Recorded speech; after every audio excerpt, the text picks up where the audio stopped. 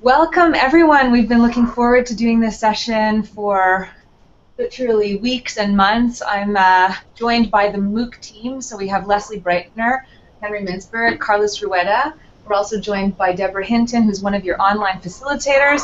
We also have with us Clelia, who's an online facilitator and course assistant, and Alex Megalis, who's heading up all of the facilitation team. Um, and we're also joined by uh, behind the scenes uh, Frank, doing excellent camera work.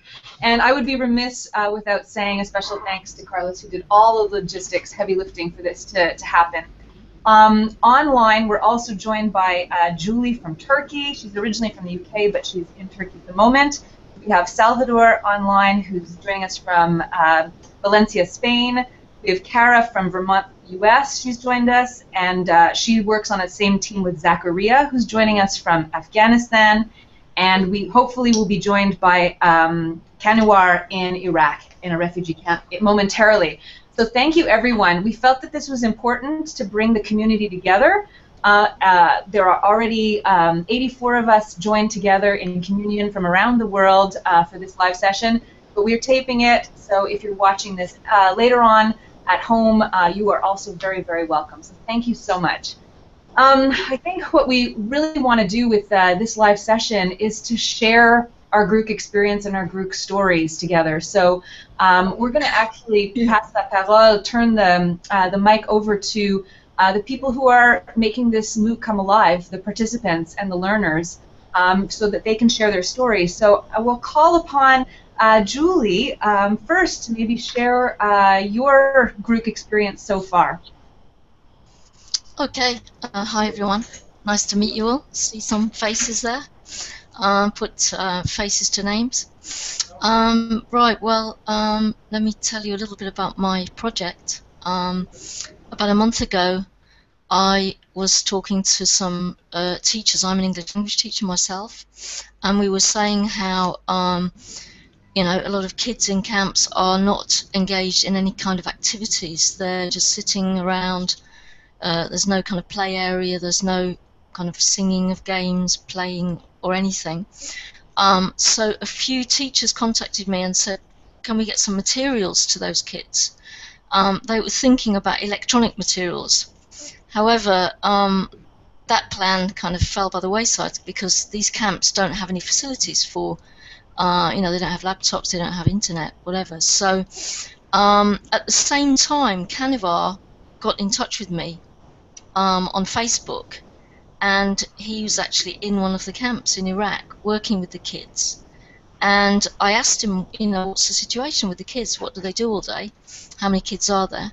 And he said, well, you know, they're just huddled in a tent. Uh, nobody really has time to engage with them because there there are health workers in the camp. The health workers are going around, you know, administering medicine, whatever.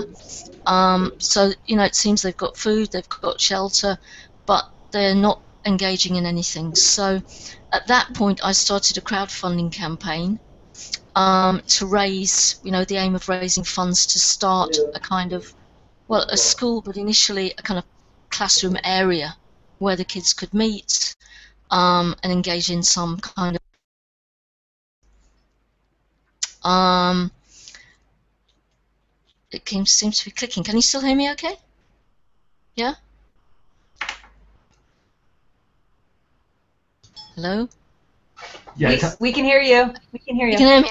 It's making funny clicking noises. Yeah.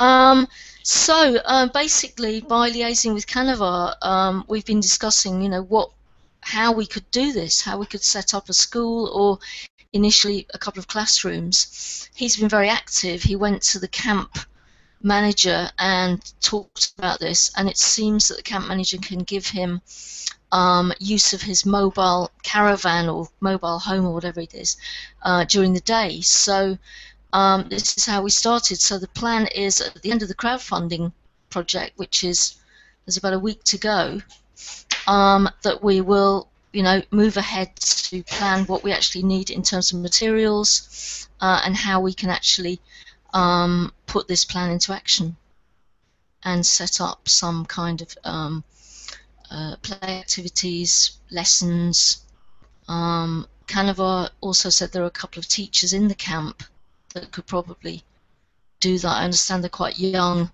trainee teachers, so they'll obviously also need some support um, in setting up a program. But as I said, is early days. We're just starting. It's quite exciting, and um, I'm hoping that members of the GROOC team will be able to help with my project by opening it up maybe to other forms of social media. At the moment, it's all based on Facebook. So that's where we are at the moment.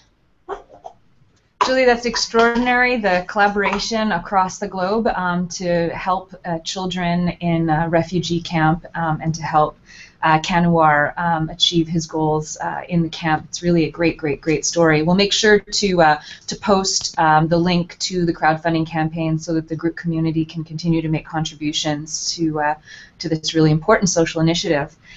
We'd love to hear from Zachariah, who's in Afghanistan. Zachariah, can you hear me? And if you could tell us your group story. Uh, should I start now? Sure.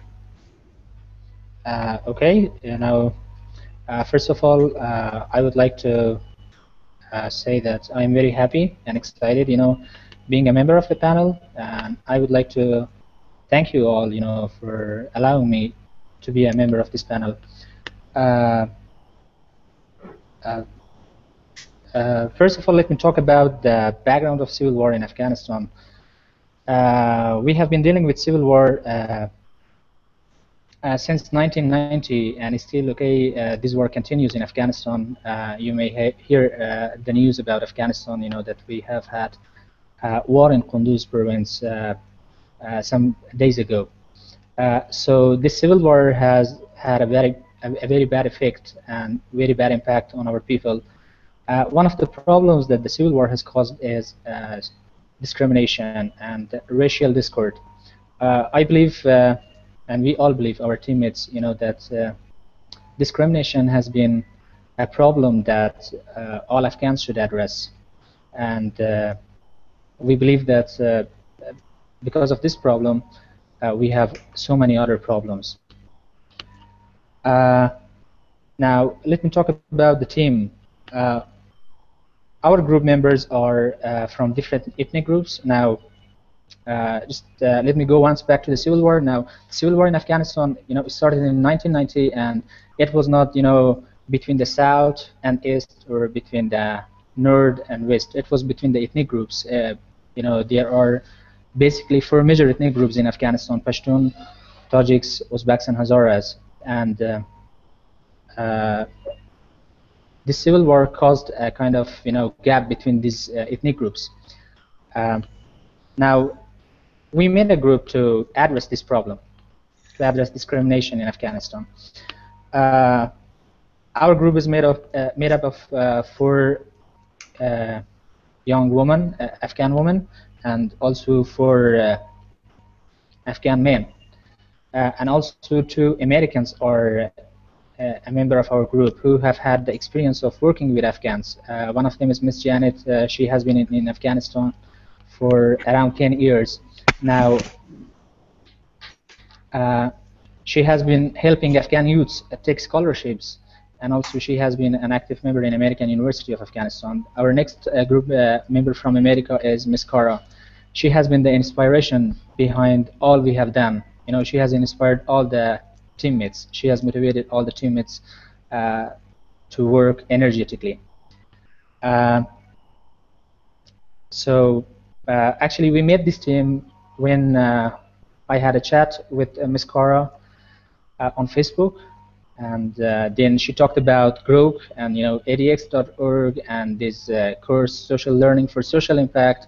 And then I talked about the social problem that we have in Afghanistan, this discrimination and then she just you know uh, asked me to join uh, that course and then we make a team. So together you know uh, we invited other Afghans and uh, uh, we could build a team actually. We tried to make the team as diverse as possible. So now in our team you know we have young Afghan you know people right from different groups from Pashtuns, from Hazaras, and from Tajiks. uh, I think you know GROOC uh, has uh, helped us a lot. Now, without these, our ideas would be just ideas. Now, for example, uh, uh, we came uh, from very different backgrounds, and GROOC helped us to be connected. I know the people who uh, I, I, did not know before. You know, I have now Pashtun friends. I have uh, Tajik friends who are very friendly. You know, and uh, they all have the same idea as I have. They think that discrimination is a problem in Afghanistan that we should soon take care of it. And uh, uh, also, I think you know that GROOC um, brought us the tools. You know, I have watched uh, videos. I have followed the two sessions, and uh, also my teammates, you know, did the same thing. And I think that uh, we have learned a lot of things, and uh, this opportunity, okay, and th these tools, you know, they have been brought by the group. Now there are a lot of Afghan youths in, uh, you know, in Afghanistan who are very much interested to take part in solving the uh, social discords. You know, there are lots of social discords in Afghanistan, as you know. Afghanistan had, you know, had had a very bad past, right? Uh, we have had civil war, and then we have had Taliban. Uh, because of that, we have lots of social problems, social challenges.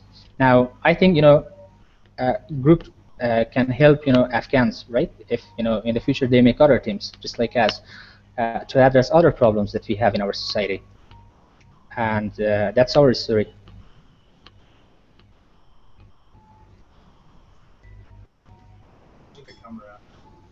Zachariah, we are all uh, in the room collectively moved by um, what you're sharing and, and thrilled that you feel our group is providing a space for this kind of collaboration. Um, I know that you uh, have overcome logistical problems to be with us, and uh, it takes a fair bit of courage for all the members of your team to be collaborating under circumstances, so we thank you. We also want to welcome all the newcomers. We are uh, over 100 uh, on uh, together for this live session, so welcome. And we will, in a few minutes, um, have a chance to take questions uh, from you so that this is an interactive session.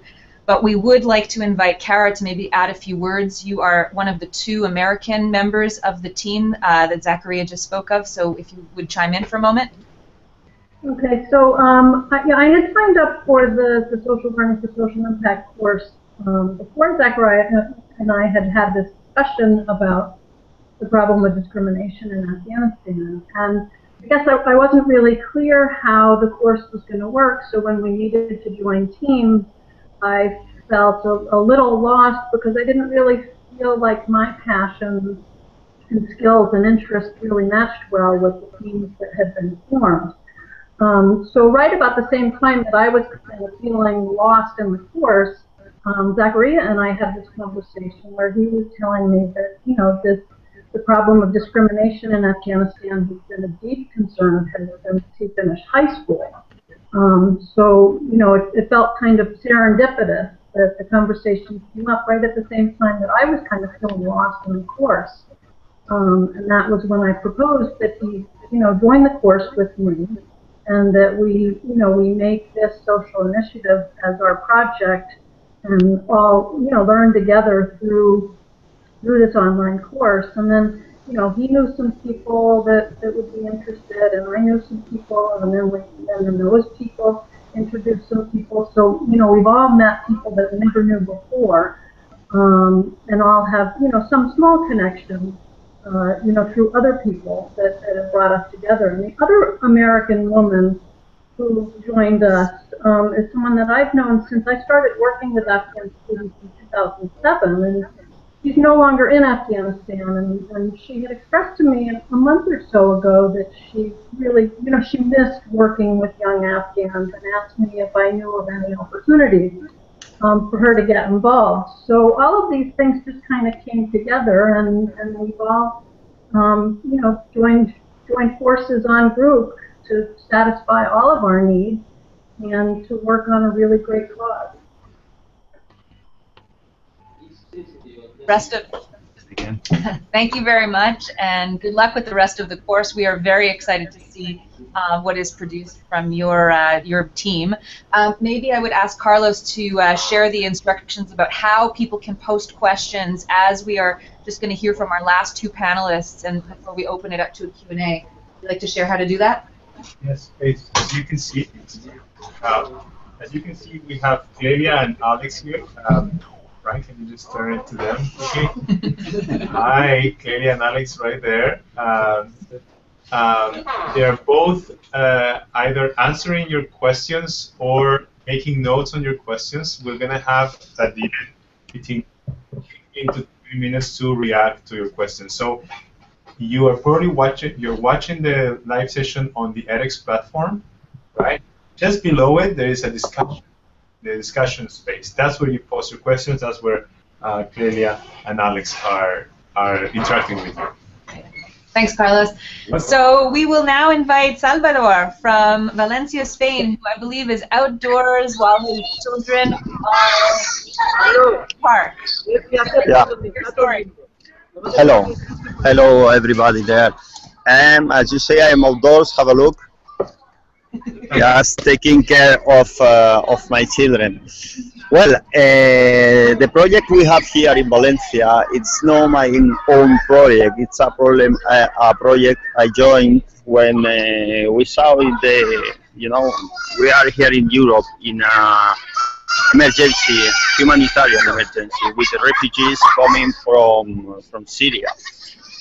And uh, when we saw the TV this uh, terrible image about the boy Elan that was lying on the beach and he died, a group of people here in Valencia uh, post an initiative in uh, Facebook, and uh, in less than uh, 24 hours we got uh, eight five eight thousand likes. You know, so everybody was was amazing. It was unbelievable. So finally, uh, you know, because to to push the like button is very easy. It's something that uh, doesn't uh, compromise you to, to anything. We uh, prepare a first uh, meeting to see what was the real force we had. So we asked for a college to uh, rent us a place for uh, a capacity of 500 people. And we went there, uh, the room was full, and then it was almost 300 people in the street that couldn't enter. So we were really surprised, and we start to, to work. What we want to do? We want to prepare Valencia as a city refuge. You know, we want to be ready to welcome the refugees here in our town, to give them uh, on a dignity in their life, to give them a dignity in their stay here in Valencia. We want them to be ready to stay here if they want, to go back to their country if they want. We want to think about the uh, about them as human beings, not as, uh, as uh, money you know, we're very ashamed about uh, the European uh, government, you know, because they are trying to avoid that these human beings enter in our territory, thinking about them as a problem. And we don't, we don't think they are a problem. We think they are human beings that give us the opportunity to show to the world that uh, another kind of living is possible, another kind of, of uh, of having a look to, to the world. This is more or less what uh, we are doing. Um, we are organized in uh, several commissions. We are almost 150 activists that uh, we are uh, working every day on, on this issue. We are organizing different commissions. I'm in the communi- communication commission. Uh, we have another one for the logistic for treatment with the with the government, with many uh, translations, different commissions that they take of, of different uh, actions in, in, in each case. And we have a committee, a coordination committee, who try to put in one way the work of all, all of us. We were talking yesterday with Carlos about about this, and one of the things we, we think is most important is to be able to make a big noise with this with this issue because uh, media are uh, are for they forgot they forgot the refugees they forgot the problem and people is for is forgotten everything I don't we, we cannot allow that we, we need to, to to be able to, to offer to to allow them to enter to our territory and to give them uh, a life the life that they they deserve you know even as there is a let's say prohibition there. The, the, the Euro, Europe is trying to, to avoid the people to enter in our territory. We send a caravan of cars from here, from Alicante to Hungary, to try to, you know, to bring some refugees here to, to Valencia. And uh, we know this is just a drop in the ocean, but it's just, we, we, we want to show the people that it can be made, that we can offer. Uh, we need we need to do that. We cannot stay with the, our arms in, in with the, our hands in the pocket. We need to, to do that. So it's uh, we're a big group, and uh, in our team in the GROOC, uh, we are just dealing with these uh, principles. We are thinking to design a way to give voice to the voiceless, to help the people to don't forget such a situations. That's all, more or less. Thank you. Thank you so much for sharing that story. I mean, certainly in Canada, we are also um, considering ways that we can help uh, country. I'm sure you're speaking on behalf of many, many people as you design your prototype. You'll know that the next step devoted to scaling efforts. So you come up with a really good um, solution, you know, we can share that with the world and have more people engaged So thank you. Um, could you mute your mic, uh, Salvador, please? Yeah, thank you. Um, the last panelist we'll hear from is one of our online course facilitators, Deborah, if you would like to join us to share your story. Then we are going to hear from our uh, group co-design team and then open it up to questions. So again, you have an opportunity below the screen to post questions and we are very excited to engage with you. Deborah. Hi, um, it's great to be here and it's especially great because I've had a chance to meet two people that are on a team that I co-facilitate, um, Zachariah and Kara, so that's been very special. Um, my social learning for social impact story started when I actually registered to take the course. And then I realized that they were looking for volunteers. And uh, so I thought, gosh, you know, what a better way to learn than to also facilitate. and so I signed up and, um, and got got selected to be a volunteer. Um, and it's turned out to be so much more than what I actually anticipated, I have to say. I'm working with Luce, who um, some of you may know.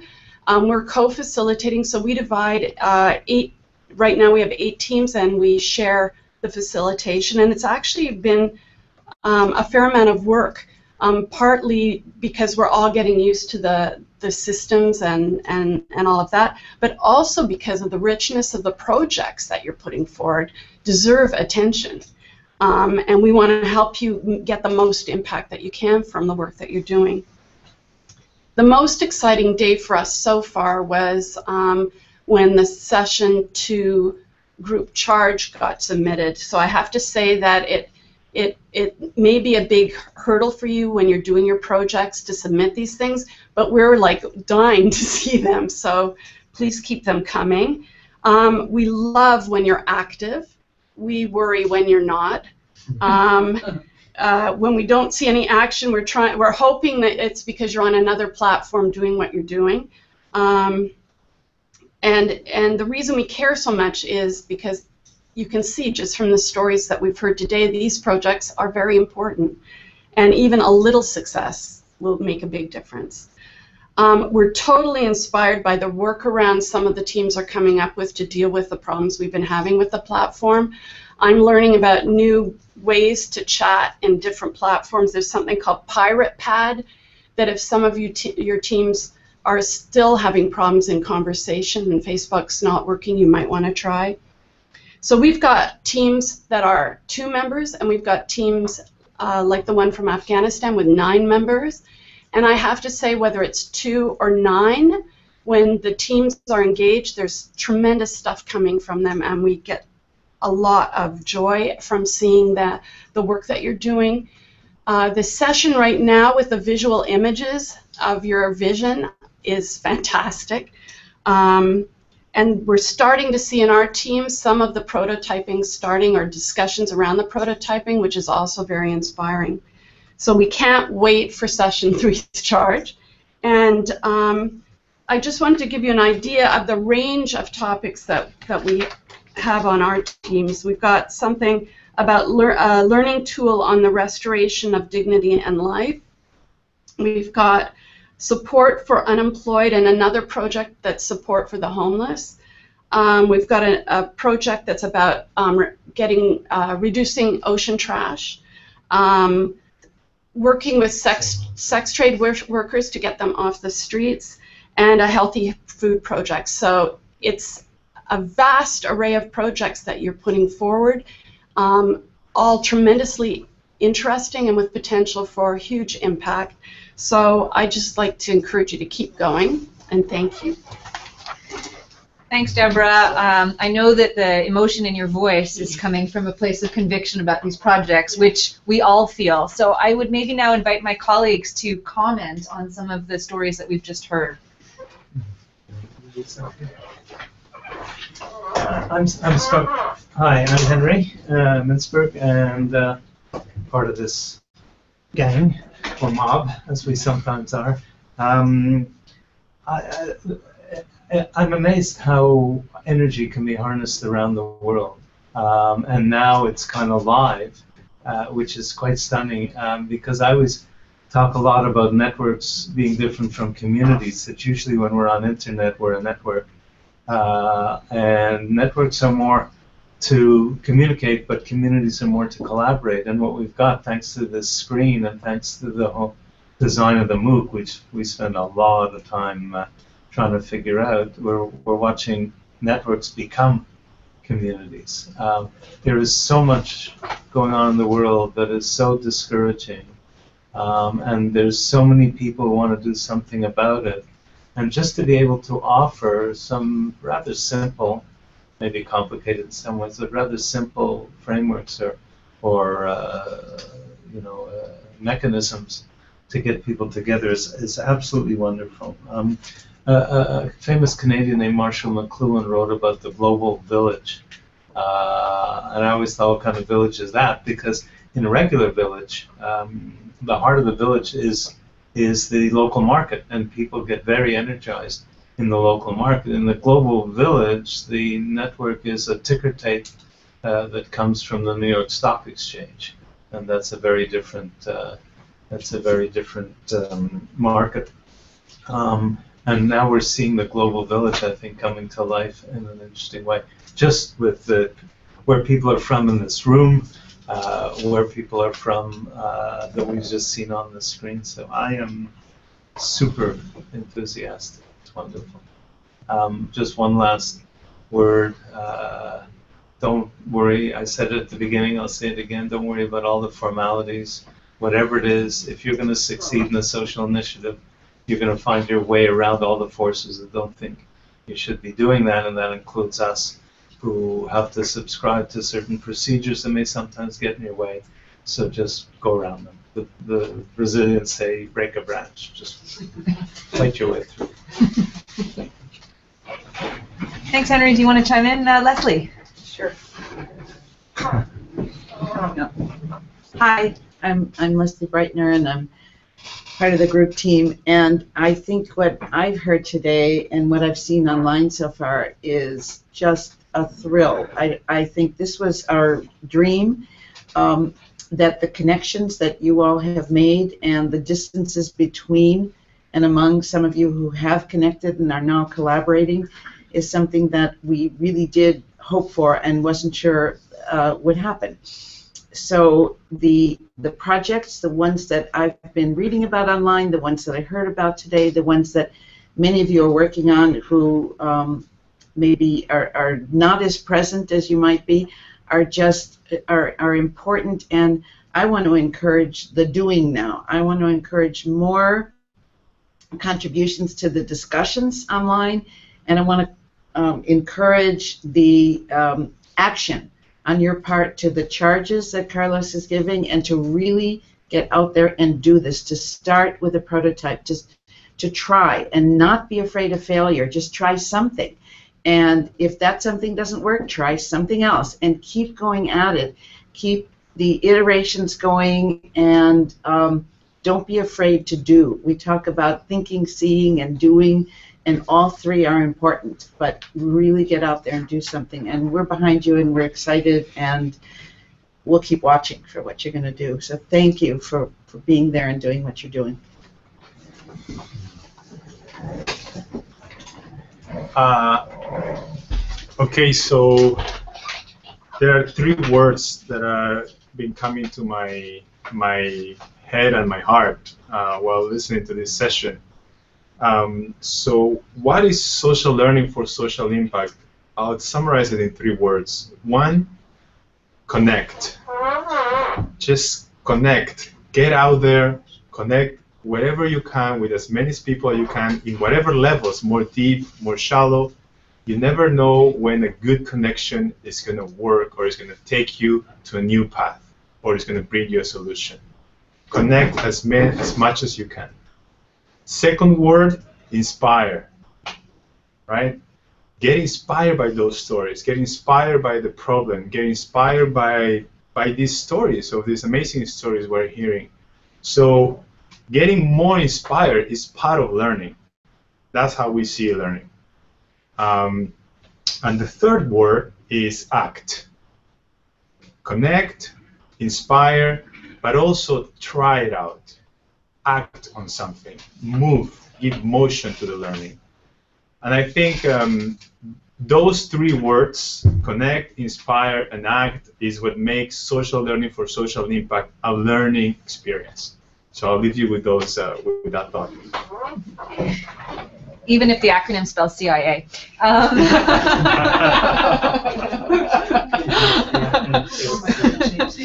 so what we are going to thank you, uh, co-designers. Um, what we're going to do now is we're going to turn the um, the screen over to Clelia and Alex um, to ask some of your questions, and we will respond to them and engage in a little dialogue. Hi, so there's a question from Marilor on the group and the of initiatives. Hello, I wonder how the group course can adapt to different levels of maturity of projects. I myself came with a vague project of discussing and exploring some ideas with my team, and as the course goes on, the project is getting a little bit more precise, but I see that other initiatives are much more advanced, already working on the field. I be concerning the pace of my initiative. Thank you. So I'll, I'll jump in here and respond and just say bravo for being there. Thank you for the question and thank you thank you for having an initiative even if it's at an early stage. This group is for you. This group is for everyone and you can learn by tuning into the discussion of the groups that may be more mature and use this as an opportunity as Carlos said, connect, inspire, and act, and go as far as you can with yours because it will develop too. There's so much content in the videos, the deep dives, and the other things that we've put in the course. So just keep at it, and please, you have nothing to worry about that yours may not be as mature as others. Yeah, I, th- I think it's a bit artificial to expect that in you know seven sessions over, I don't know what is, 10 or 12 or 14 weeks, um, that things are going to unfold. It may happen occasionally. The nice thing is that the video material and the sessions are available anytime. So you could spread this over two years if you want to, depending on where you're at. And uh, I assume people can access uh, unlimited time. Um, uh, and some other people may come in with a semi-finished or almost finished project, and yet they always remain vague. Our our social initiative is this group itself, um, and we're constantly learning. And uh, you know, you know, we're seeing things that are happening today that maybe never quite happened like this before, um, and uh, and uh, so it's always vague, and we're always learning and we're always adapting, and. Uh, uh, so that's fine. Everybody's going to be at a different state. But you know what? Even in each session or each deep dive, you're going to pick out one or two little nuggets. It's not necessarily going to be exactly where you at, and you need that little nugget, that little idea right then. Um, but you're going to pick out little things and say, gee, maybe we could do something differently based on that. So all we want to do is drop in thoughts and have you run with them wherever you are, beginning, middle, late stage, doesn't matter. I'm happy to hear what you do. Great. So we're going to turn it back over to Clelia to ask another question. But first, we'd like to also uh, welcome Tanya Michelle, who's one of the course online facilitators, who's joined us as well. Welcome. Hi, everyone. So Clelia, if you could speak loudly for our camera. Sure. Uh, another question by Tonet Tonatu Garcia. Sorry if I missed that, like mispronounce it. I would like to ask all the panelists about the way they take decisions about actions of their social initiatives, structure, time, who is who is out of the discussions, and then what kind of partners have they tried to involve? Like, have you tried to involve within your initiative? You should take that. No, the, the panelists. The, pa- the panelists, that's right. That's No, us. the panelists. Oh, the panelists. The The panelists. actual people that are doing the project. Is there a panelist um, that would like to respond to this question? Raise your hand to show us who we can unmute. Okay, we Okay, Salva. Salvador.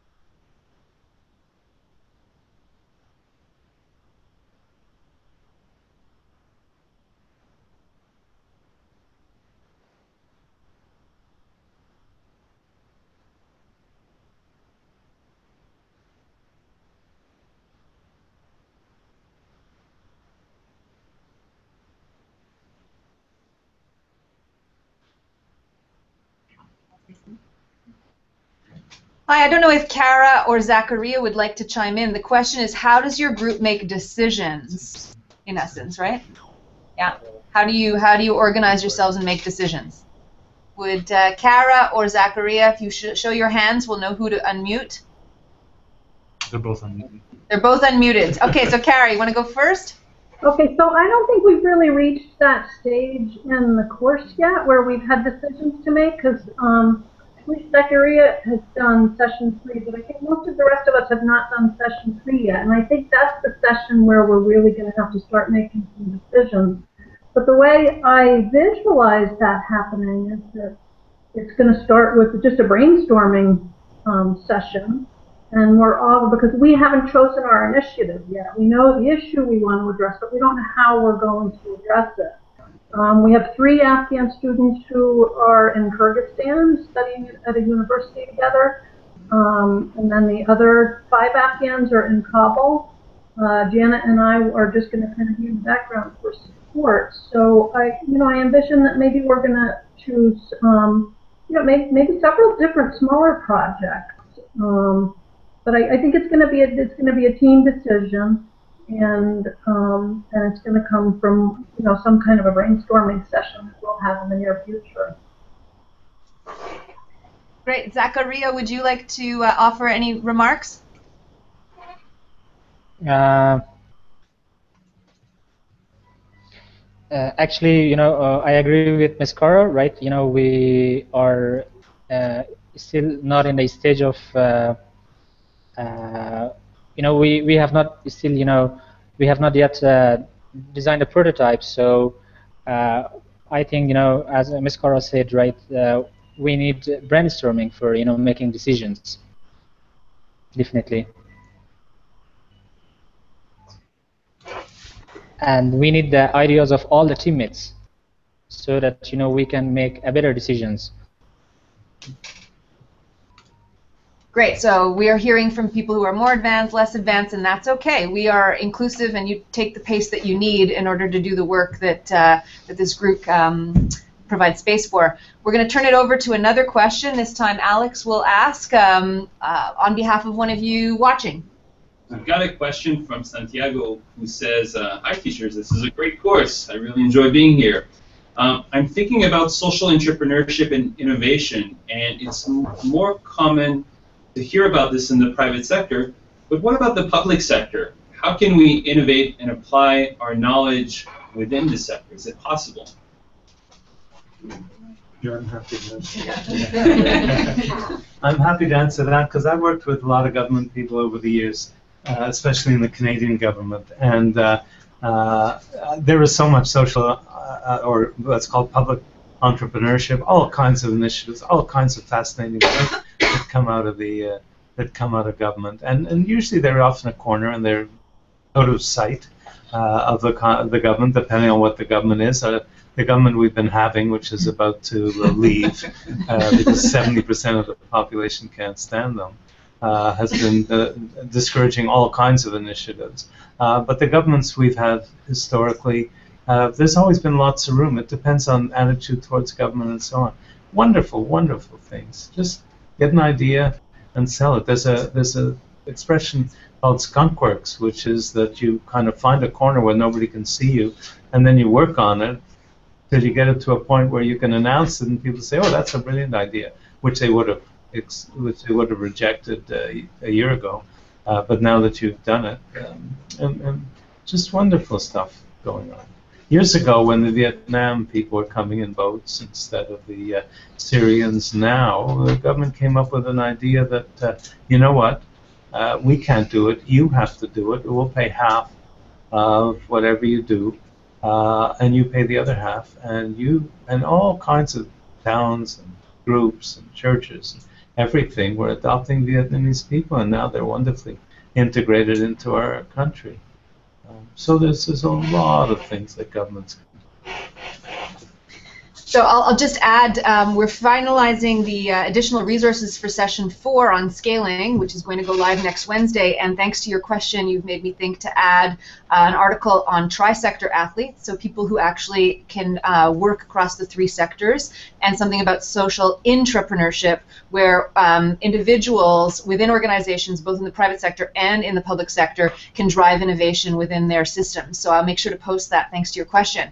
So we'll go to the next question. Uh, Clelia, uh, if you don't mind asking. Sure. Uh, so we have a question from Ferry Selen from the Philippines um, asking, from when we say social initiative, we mean a prototype for a solid program for advocacy. A lot of group of my group members, especially the students, are a bit confused as to what will be the expectations after the course. Should we come out with a solid, solid prototype, plan, program, or proposal after this course in December, and what to do with it? And she shared concerns with a couple other people asking whether they had to have a social, concrete initiative or just exchanging ideas online and helping different groups thinking about initiatives. This is called rolling in, rolling out.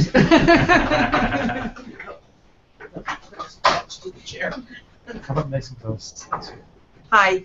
Um, I, I'm sort of repeating what I said before, but as far as you get on the prototype, we're going to be happy with. If it's not a complete program that's fully designed, that's okay. And when we get to our final session, which in December, which will be the impact gallery, we want to see everything. We want to see even projects that are just in the first stages of development. So we have no expectations or priors that the projects have to be fully developed and ready to go, although there may be some that are. So as far as you can get, using the use the content in the course, use the content, use the ability to connect, um, and and do, but develop it as far as you can, given your experience, given your team, and given the content. Hmm? Just um, just a little uh, a little idea. This course is not about what we want you to do. It's not about what we want you to do. It's about what you want to do. right? So if the sessions, if the content, if the exercises, if the group charges help you, use them. If they don't, don't use them. So focus your action and your learning on where your team is at the moment. If, if having a prototype of a solar panel would be too much to have in, in a month and a half, then don't worry. Maybe just have a little idea, plan, or first test, um, or just a first conversation with your team. So it's not about what we want you to do, it's about what you want to do and what you can accomplish. Yes, of course. I, I, I just want to add something very briefly. Wonderful things don't happen on schedule. They never happen on schedule. Usually they take 10 times longer than you think. They, there's a, something called, what is it, Hofstadter's Law? It always takes longer than you think, even when you take into account Hofstadter's Law. Um, on the other hand, uh, they can also gel, come together imme- incredibly quickly. You could just be on the way to trying to figure out what you're doing. Next thing you know, bang, an idea comes in, and everybody says, "Yeah, yeah, we can run with that," uh, and and that's common too. Thanks, Henry. We'll hear now from Alex with a question. So we uh, we have um, uh, another question from a learner who says that they're, they're thinking a lot of Henry's discussion from se- uh, from session three, uh, and it seems there a lot there's a lot more seeing and doing with the initiatives that we learned about today, uh, and that is not opposed to visioning or planning. And the learner says, my belief is that in social initiatives in general, it's more likely that initiatives are launched in response to a problem or need, and social entrepreneurs jump past the planning stage right into the doing and trying. Uh, he'd love to hear what the panelists, and Henry in particular, have to say about this. Just, just that I agree totally, um, and I love the expression "doing and trying." It's it's about trying. It's, largely about trying. It's about uh, let's just find a way to begin the process. Um, you get it, and I think this whole group is sort of about that in the sense that it kind of gives you a license to uh, to act. Um, now Salvador didn't need license to act; he'd been acting before this ever came to be. But it's kind of license to connect. Suddenly, I'm not just on my own. I'm part of a whole group that's going, that's trying to do things all over the world. And uh, I love the doing and trying. It's all about trying.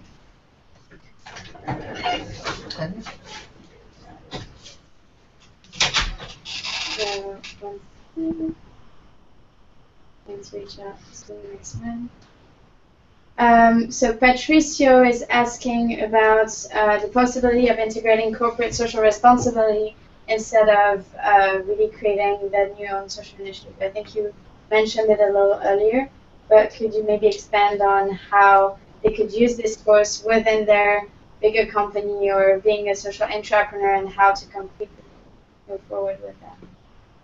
And who's that addressed to anybody special? Uh, sorry? Addressed to anybody special? Um, Anita should comment on that. Sure. So we intentionally put a cap on registration uh, as today, uh, so that um, people who are already working on their social initiative are not midway um, introduced to new people who have a lot of catch up to do. And that was a different, difficult decision to make, but one that we made um, because we wanted to honor the work that was happening within the teams. Uh, today is the last day to register, so I guess our feedback would be if you are working within an organization, private sector or public sector, and you are participating in this MOOC, maybe you want to encourage your colleagues to join today and join your uh, make create a new team based on an issue that you care about within your organization or have them join another group that's already formed and learn. They can catch up very quickly and uh, participate for the remainder of the course. So uh, that would be our first bit of feedback is have um, members of your your staff, team, colleagues at the office uh, work together and experience what it's like to do social learning for social impact um, and engage and uh, with never knowing what might happen uh, and that sky is the limit. Clelia, we have another question or Alex? So uh, another question from Caroline. Uh, Caroline says, I think it's more easy to form a community in very tangible goals, education, to help refugees, health, but it's a lot more difficult if you want to promote civil rights and human rights. what recommendations or experiences have you had in addressing?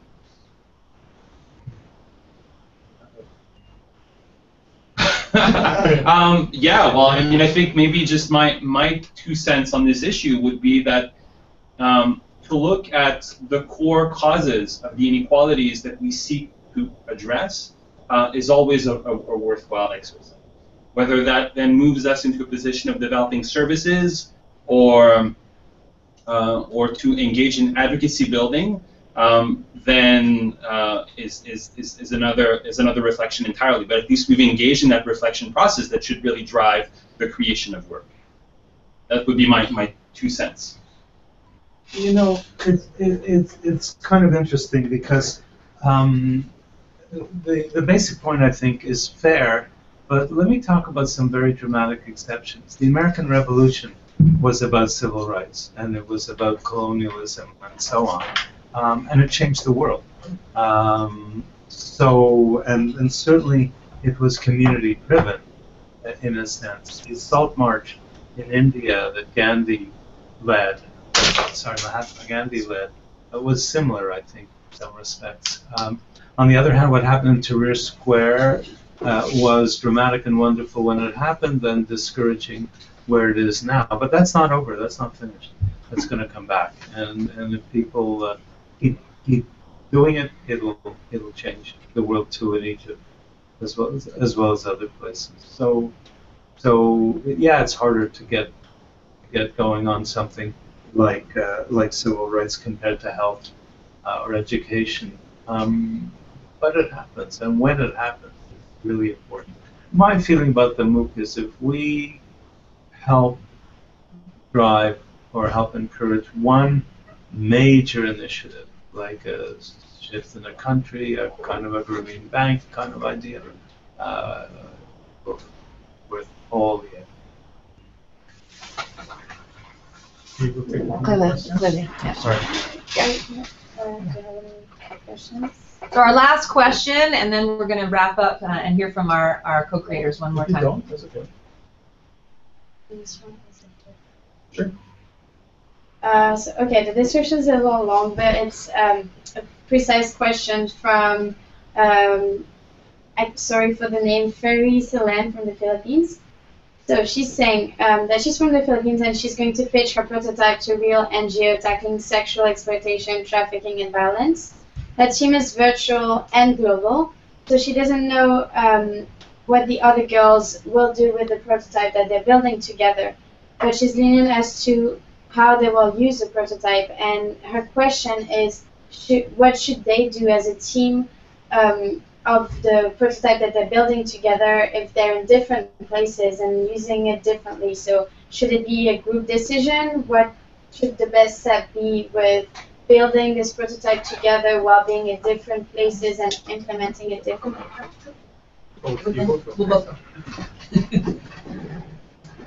So I'll just uh, address very quickly.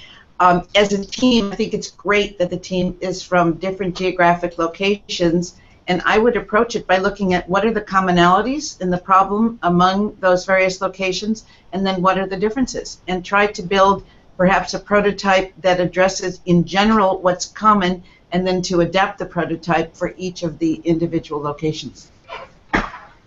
And I'll just build on what Leslie was saying about adapting. I mean, one of the core concepts of human-centered design and design thinking is that it's context-based. And so if you have members that are coming from different localities, the idea of testing different kinds of prototypes in different contexts will actually enrich the experience of the group as a whole.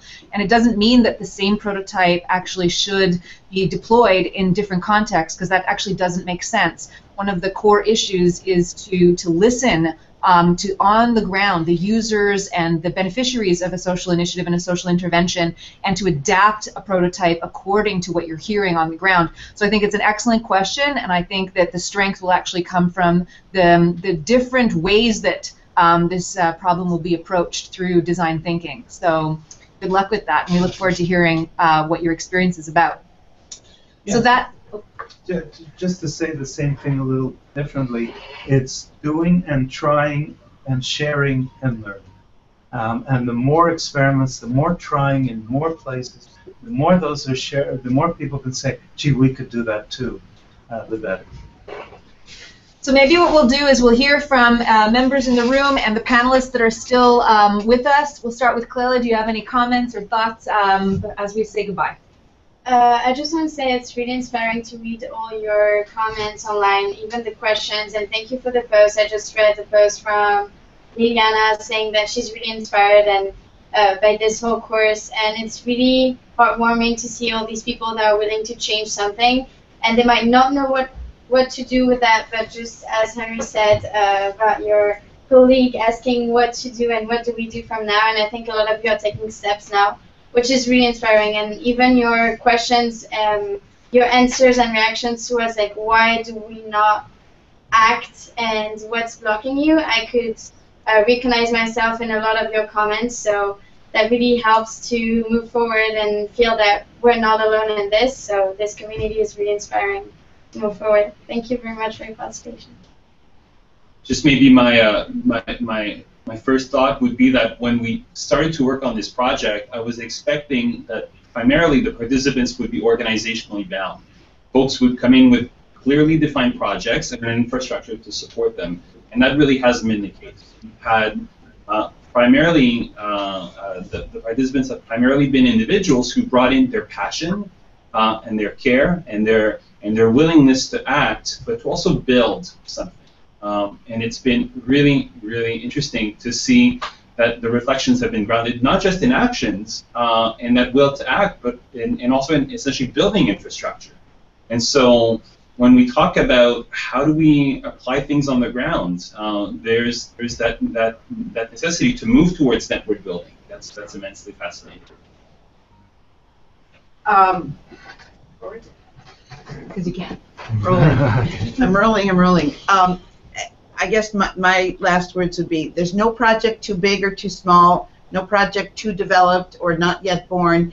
Anything goes. This group is for all of you and just keep at it. And when you get to the final week, no matter where you are and your initiative, even if it's just being born, please share it with us. You're rolling, you're rolling. Comment, Henry? That's it. Okay. That's enough. Okay. Um, um, try to. All of you are working in teams. Most of you are working in teams. Um, some team members are more active. Some team members are not that active. You're, if you're probably watching this, is because you're one of the active ones. So be inclusive.